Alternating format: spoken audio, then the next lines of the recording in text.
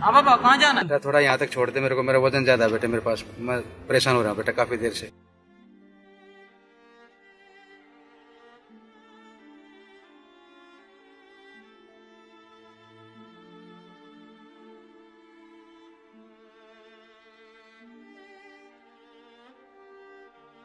अरे बेटा मेरा घर आ गया यो यो है मेरा घर। ये वाला बाबा? हाँ यो है रुको मैं उतारता मैं उतारता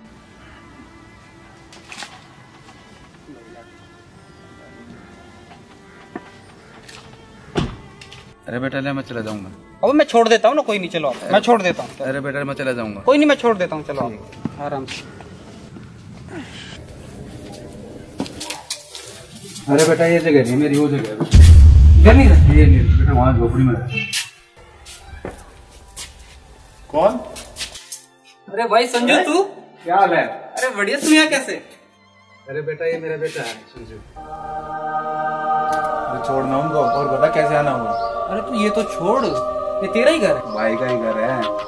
अकेला रहता है अरे अकेला कहाँ एक रूम डॉगी के लिए एक में मंदिर बना रखा है एक में तेरे जैसा कोई मेहमान आ जाए तो उसके लिए एक मेरा। और माँ बाप वाह मेरे दोस्त वाह। खुद आलिशान मकान में रह रहा है और माँ बाप को झोपड़ झुग्गी में रख रखा है। और क्या कह रहा था अभी? भाई बहुत सर्दी है अंदर चल। क्या उनको सर्दी नहीं लगती? क्या वो इंसान नहीं? तू पाँच मिनट सर्दी में नहीं खड़ा रह सकता। और वो दिन रात झोपड़ झुग्गी में सोते उनका क्या?